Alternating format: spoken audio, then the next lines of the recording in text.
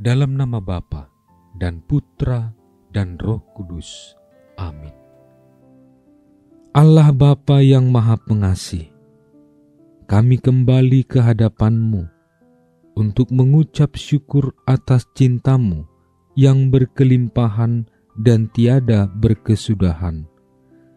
Bantulah kami untuk senantiasa mampu menemukan butir-butir kasih dalam setiap pengalaman hidup kami. Buka pintu hati kami dan pikiran kami dalam membaca dan merenungkan sabdamu hari ini. Semoga kami dapat menemukan cintamu lewat sabda dan renungan yang akan kami dengarkan hari ini. Engkau kami muliakan kini dan sepanjang masa. Amin.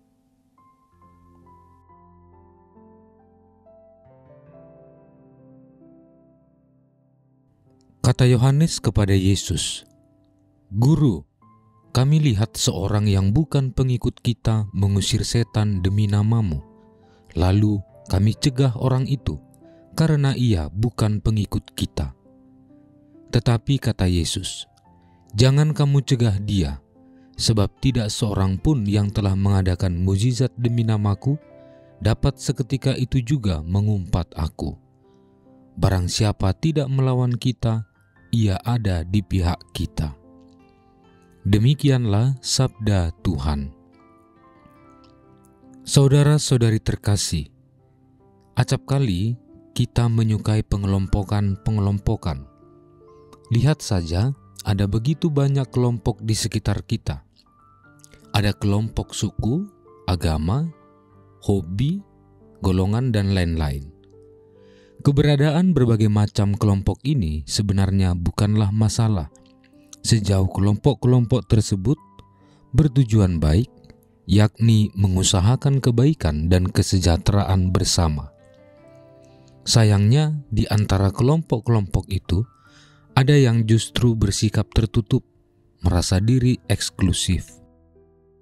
Mereka membuat diri merasa sebagai kelompok yang paling hebat, paling benar Kelompok-kelompok itu akhirnya memasang sekat antara satu dengan kelompok yang lain, tidak dapat berbaur dan bergabung dengan kelompok yang lain. Kecenderungan yang sama ternyata dahulu juga dimiliki oleh para murid Yesus. Karena merasa menjadi bagian dari komunitas yang paling dekat dengan Yesus, mereka lalu punya perasaan bahwa Yesus adalah milik kelompok mereka. Para murid juga merasa diri istimewa sebab memiliki kelebihan yang tidak dipunyai oleh orang di luar kelompok mereka. Karena itu, ketika ada orang di luar kelompok mereka yang mencoba mengusir setan dalam nama Yesus, mereka tidak dapat menerimanya karena merasa bahwa orang itu tidak berhak. Itulah yang terjadi.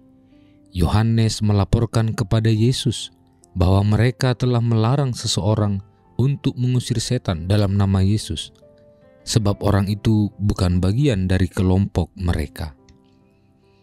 Saudara-saudari terkasih, kita tidak bisa membayangkan seandainya sikap seperti itu tetap hidup dan ada dalam diri pengikut-pengikut Kristus masa kini. Mungkin gereja tidak akan berkembang karenanya, sebab dihuni oleh sekumpulan orang yang merasa diri istimewa.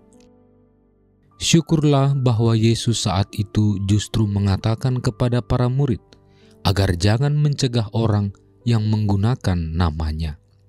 Tentulah alasan Yesus jelas. Siapa pun yang tidak melawan dia berarti berada di pihaknya. Yesus mengatakan bahwa dia terbuka kepada siapa saja. Gereja juga harus menghidupi nilai-nilai yang sama. Katolik artinya umum. Gereja kita terbuka kepada siapa saja, sehingga beranggotakan orang-orang dari berbagai latar belakang. Saudara-saudari terkasih, gereja merangkul semua orang karena Yesus Kristus, juga terbuka menerima dan merangkul semua orang, bahkan kita ini orang-orang berdosa. Kita masing-masing adalah gereja. Kita harus terbuka kepada semua orang.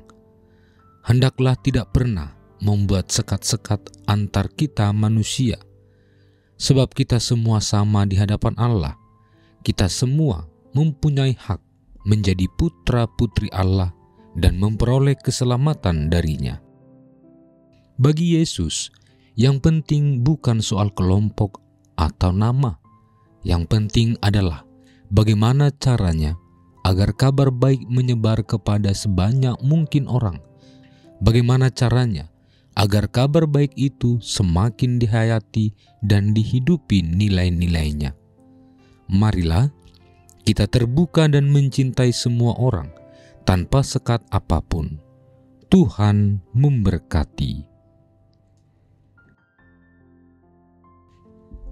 Bapa sumber kebijaksanaan, Engkau telah menganugerahi kami pengertian untuk memahami kehendakmu. Utuslah roh kudusmu di tengah kami, supaya hidup kami terhindar dari segala kekacauan dan aneka perbuatan jahat. Dengan pengantaraan Yesus Kristus Putramu Tuhan kami, yang bersama dengan dikau dalam persatuan roh kudus, hidup dan berkuasa Allah sepanjang segala masa. Amin. Allah Tritunggal Maha Kudus, Bapa, Putra, dan Roh Kudus. Engkaulah Allah Esa yang Maha Kuasa dan Maha Rahim. Kami puji dan muliakan dikau. Di tahun komunitas basis ini, dengan sepenuh hati, kami mengagungkan dikau karena engkaulah sumber, dasar, dan model sempurna kesatuan kami dengan dikau, sesama dan alam ciptaan. Kami mohon, anugerahilah kami roh kudusmu, agar kami mampu membangun persaudaraan dan persekutuan sejati di dalam keluarga, komunitas-komunitas, dan seluruh gereja. Dengannya, kami menjadi tanda kesatuan dan kehadiranmu di dunia ini. Bunda Maria, Bunda yang berbelas kasih, doakanlah kami anak-anakmu agar hidup rukun dan bersatu seperti keluarga kudus di Nazaret.